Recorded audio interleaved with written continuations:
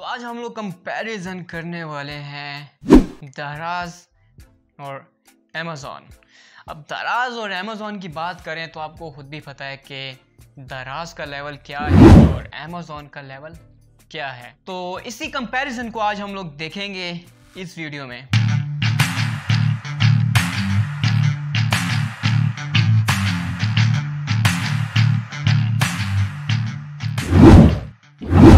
ज़रा बात कर लेते हैं अमेज़ोन की कि अमेज़ोन फाइनली फाइनली अमेज़ोन ने पाकिस्तान को अपनी सेलर लिस्ट में इंक्लूड कर लिया है। अमेज़ोन पाकिस्तान में आने से बहुत ज़्यादा जो पाकिस्तानी ऑनलाइन सेलर्स हैं, जो कि दराज पे सेल आउट कर रहे थे, अब उनको भी एक मौका प्रोवाइड होगा जो कि वो अपनी प्रोडक्ट्स अमेज़ोन पे सेल आउट कर सकेंगे और अमेज़ोन एक ऐसा प्लेटफॉर्म है जो कि वर्ल्ड वाइड जाना जाता है। सबसे पहले ज़रा दराज को जान लेते हैं कि दराज पाकिस्तान में आया। दराज ने पाकिस्तान में प्लेटफॉर्म एक क्रिएट किया ऑनलाइन प्लेटफॉर्म क्रिएट किया और लोगों की एक साइकी को जाना। दराज ने तब पाकिस्तान में अपनी सेलिंग स्टार्ट की, अपनी सर्विसेज़ स्टार्ट की जब पाकिस्तान में ऑनलाइन का कॉन्सेप्ट बिल्कुल नहीं माना जाता था। लोग ऑनलाइन पे बिल्कुल भी यकीन नहीं करते थे और दराज आया। दराज ने लोगों को, लोगों का माइंड सेट पकड़ा, लोगों को माइंड सेट को पकड़ के अपनी सर्विसेज़ को बेहतर किया।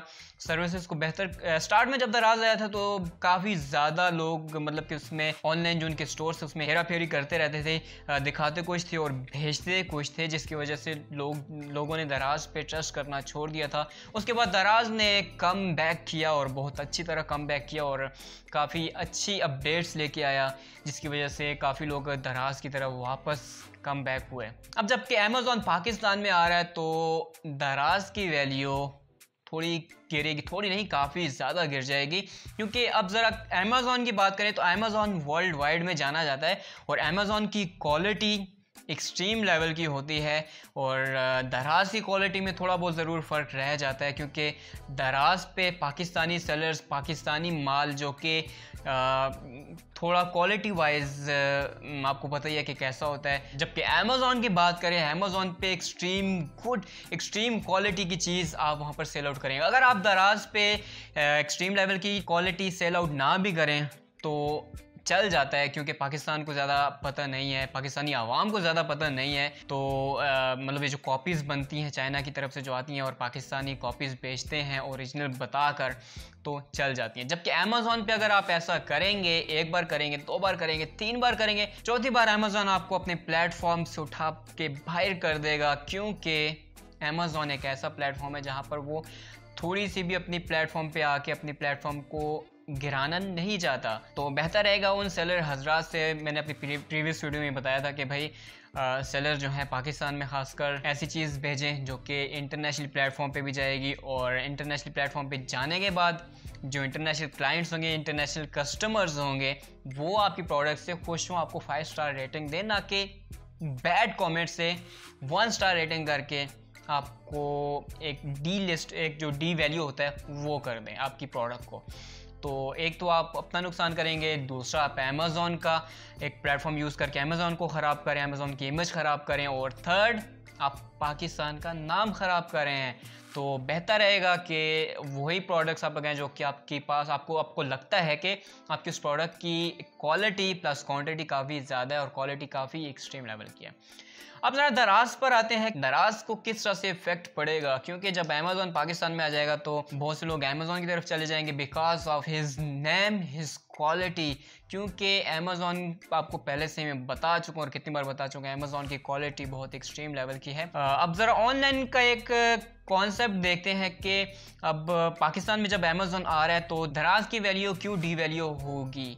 इस वजह से होगी क्योंकि मैं दराज पे पिछले दो ढाई साल से सेलर रह चुका हूँ और अभी भी सेलिंग कर रहा हूँ। क्योंकि ऑनलाइन पूरा एक प्लेटफॉर्म का मुझे आइडिया है कि कौन सी प्रोडक्ट को आप कैसे लेते हैं लाइक कैसे आप प्रोडक्ट को हंट करते हैं। प्रोडक्ट हंट करने के बाद प्रोडक्ट पे आप मेहनत करते हैं, उसकी पिक्चर्स लेते हैं। आ, उसके अलावा आप उसको एडिट करते हैं पिक्चर्स को एडिट करने के बाद आप उसकी डिस्क्रिप्शन फाइंड करते हैं। डिस्क्रिप्शन के बाद आपको प्रोडक्ट को रैंक करना होता है। तो रैंक करने के बाद फिर आपको दराज के जो कमीशंस होते हैं उनको देखना पड़ता है। उनको कमीशंस को निकाल के अपनी प्रोडक्ट की प्राइस निकाल के उसके बाद आपको जो प्रॉफिट आता है वो आता है। तो बहुत सी चीज़ें आपको दराज के प्लेटफॉर्म पे रह के देखनी पड़ती हैं तो फिर अमेज़ोन पे जब आप जाएँगे तो आपको बहुत ज़्यादा मोहतात रहना पड़ेगा और बहुत ज़्यादा चीज़ों को आपको देखना पड़ेगा।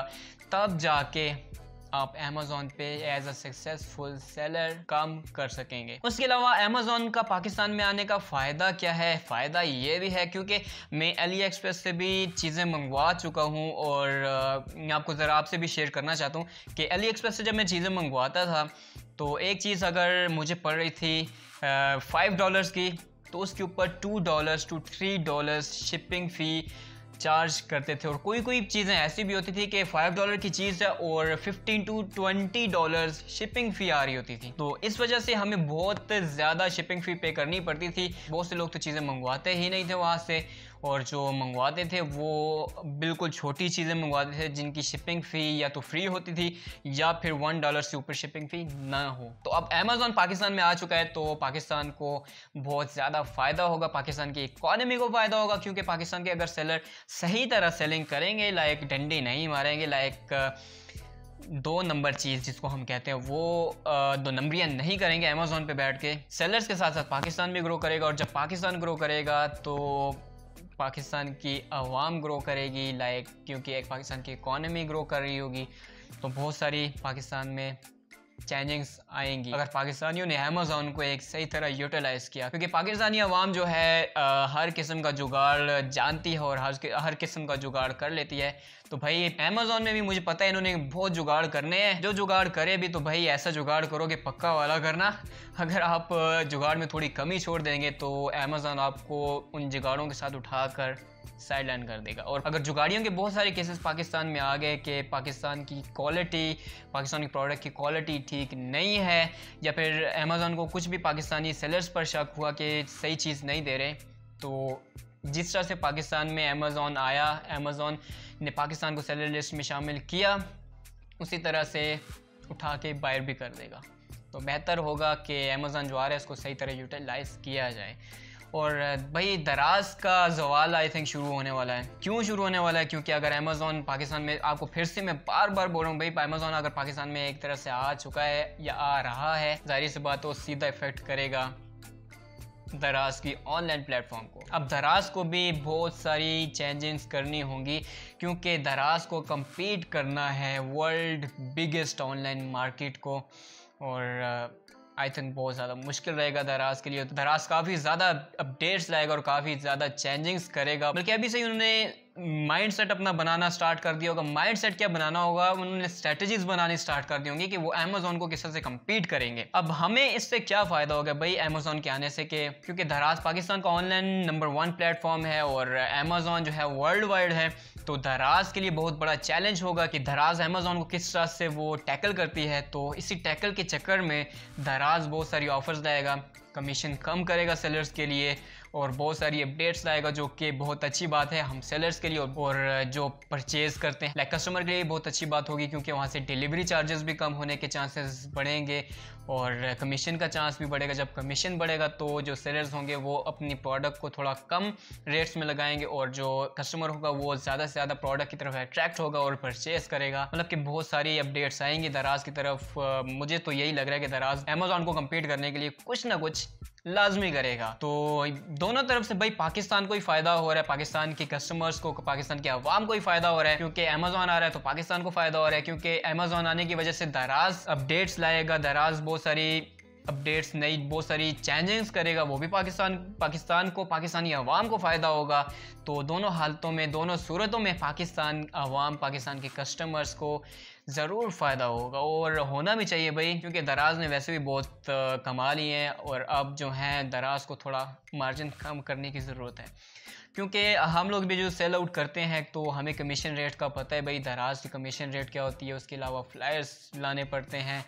और अगर आप, आपके पास खुद का प्रिंटर नहीं है, आपको बाहर से अगर प्रिंट करवाना पड़े मतलब अलॉट ऑफ़ थिंग्स होती हैं जो कि दराज को सेटल डाउन करनी है सेटल करनी चाहिए भाई, क्योंकि पाकिस्तान के सेलर्स को सेलिटेट करना अब दराज का काम है, क्योंकि अमेज़ोन पाकिस्तान में आ रहे हैं और दराज के लिए बहुत बड़ा चैलेंज खड़ा हो चुका है इस टाइम तो ये थी आज की इन्फॉर्मेटिव वीडियो उम्मीद आपको ज़रूर पसंद आई होगी मेरी ये इन्फॉर्मेशन तो उसके अलावा आपको मैं बता दूँ, मैं एक यूट्यूब की सीरीज़ भी चला रहा हूँ। साथ साथ अगर आपने अभी तक मेरी यूट्यूब सीरीज़ नहीं देखी तो काइंडली जाएँ और मेरी यूट्यूब की फ्री सीरीज़ को ज्वाइन करें वीडियोज़ देखें और यूट्यूब पर आके सक्सेसफुल यूट्यूबर बन जाएँ। तो खुश रहिए, आबाद रहिए, मुझे भी अपनी दुआ में याद रखिए। तो मिलते हैं अपनी नेक्स्ट वीडियो में, तब तक के लिए टेक केयर गुड बाय